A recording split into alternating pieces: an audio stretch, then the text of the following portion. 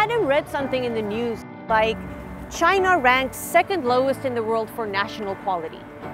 And even though the UN labeled this as fake news on social media, people still continue to spread the story, which made me wonder whether it accurately reflects the situation. I am conducting a small social experiment where I'm going to set up a table next to the road with some magazines and newspapers and nothing but a QR code for people to pay with. Now, there won't be anyone manning the stall, and I am excited to see how many people will either just take something without paying or pay even though no one is watching. Let's see.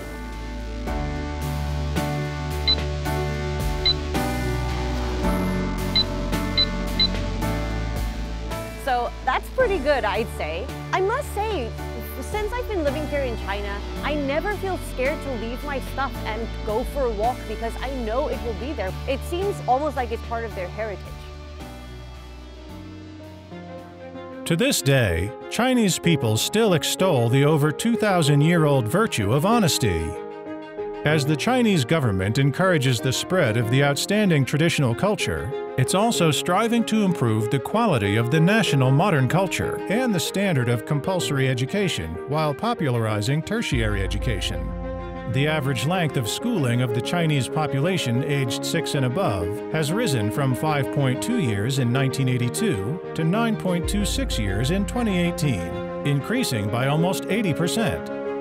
Over the last four decades, China has fostered 270 million talents who have received tertiary education or vocational training.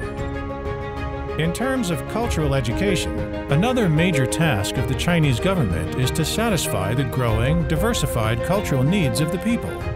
Quality public cultural resources need to extend from cities to rural areas, so as to make up for the gap in public cultural services between China and developed countries, and achieve the building of a well-off society in an all-round way, spiritually and in terms of people's livelihood. Right now, we're in a village in Shanxi, Jiajiazhuang, a well-known cultural village. I hope to find out today what these people are doing to cultivate their own cultural literacy. And we just arrived at the local library where villagers are free to come and study and read. Let's go inside.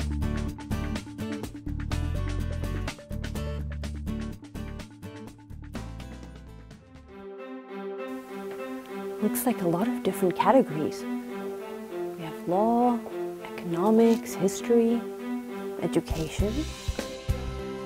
So this is agricultural planning that's very useful because there's a lot of farming happening in this area. So it's nice that local people can educate themselves on different farming techniques.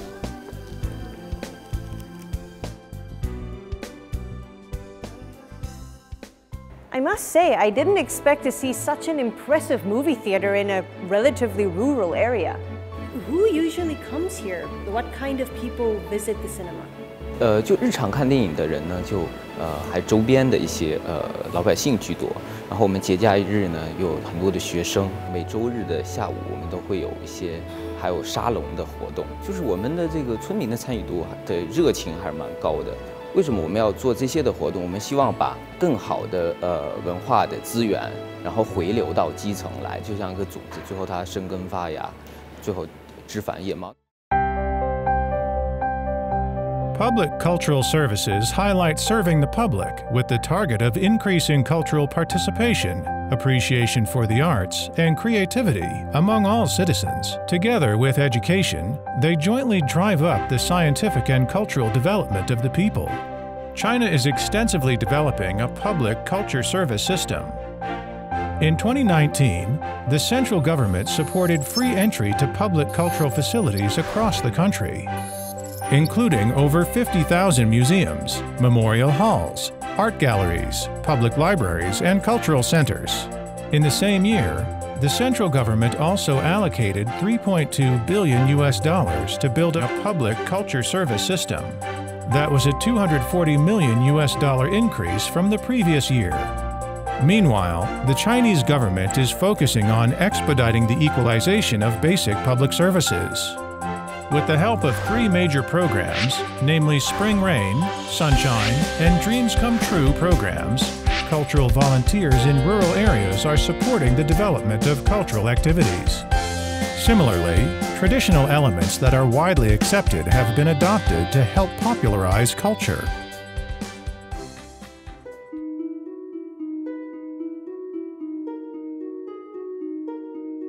Jia 一幅画卷万盏灯，新农村万盏彩灯数不清。你好，欢迎来到葫芦坊。Nice to meet you. So, what is all this? 这些都是一些葫芦工艺品。烙画在中国是一个就是传承千年的传统文化技艺。So, what will we learn today? 我们今天做一个小老鼠。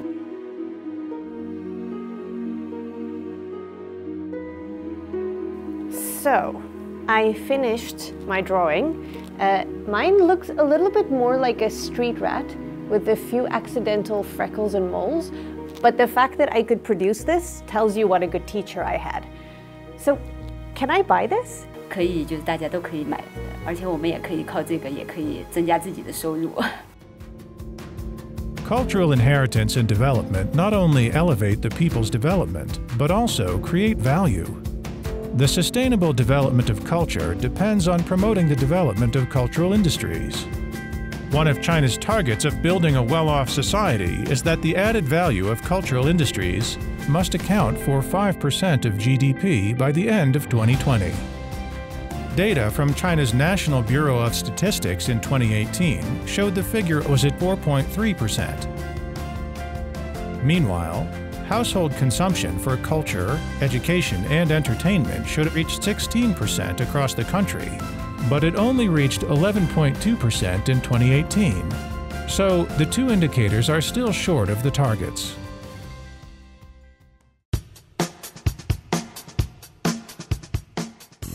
Can remember, my biggest dream has been to be an actor. So imagine my excitement as I am here today in Qingdao, China. Or shall I say, Oriental Hollywood. This used to be a small fishing village, but today it is a rapidly emerging film and television cultural city. Currently, the Oriental Film and Television Industry Park is home to 40 world-class studios. So come with me because today we are going on a movie adventure.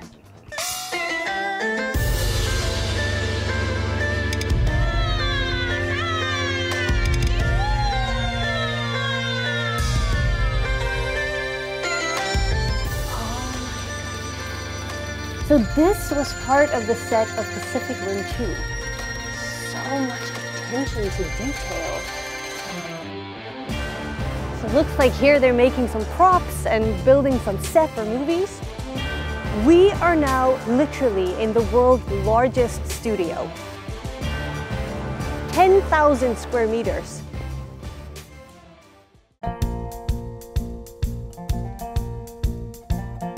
So what is special about this film park? 呃，像东方影都的这个影视产业园呢，它是目前中国影视基地里边唯一一个能够达到国际标准的一个影视拍摄制作的一个基地。那像我们的园区呢，还有全产业链的一个流程上的一个服务。如果剧组有水系的话，我们有非常大的一个水下制作中心。然后后期制作这一块呢，我们也有一个数字影音中心，能够给剧组提供声音、视效、对白等等的一些后期制作的一个服务。Okay, and what about attracting filmmakers? Are there any policies or so that make it more beneficial for them to make their films here? 像在青岛这个地区呢，呃，青岛市和西海岸新区两级政府以及融创集团现在共同出资了五十亿的资金，用来补贴在东方影都拍摄的剧组。那我们的补贴最高能够达到剧组拍摄成本的百分之四十的一个返还，所以这个力度还是非常高的。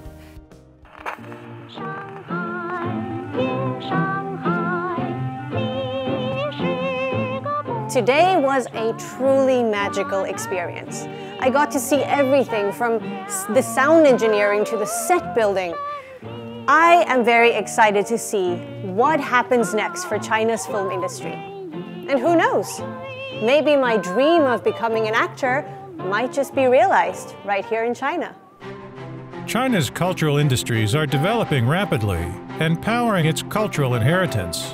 In addition to the film and television industry, China's performing art market is showing rapid growth. In 2018, art troupes staged 3.12 million shows across the country, generating 2.1 billion US dollars in revenue, showing a growth of 131.5% and 137.4% compared with those of 2012. Meanwhile, the number of people engaged in the cultural industries is rising. Cultural industries are also working with sectors in poverty alleviation, tourism, and sport, giving rise to new culture-related business formats. In the meantime, the China's cultural influence is growing overseas. In 2018, China's total export and import of cultural products reached 102.38 billion US dollars, a 15.4% increase compared with that of 2012. China's cultural development enhances not only its people's development, but also its cultural image abroad. The Chinese government is promoting the concept of a community with a shared future for mankind via its culture. China is taking to the world stage an image of a major power with both traditional and modern culture. Would you look at that? It's a traditional Chinese dragon with a modern flair. I personally really like the way, including elements of old culture in these modern trends. Take for instance, including elements of the Peking opera in modern rock music. And so, people from different eras and different regions end up sharing similarities in the way they express themselves and their culture. Culture is so important to us. If we have greater cultural awareness, we understand ourselves better. And where and how we fit into the rest of this great big world.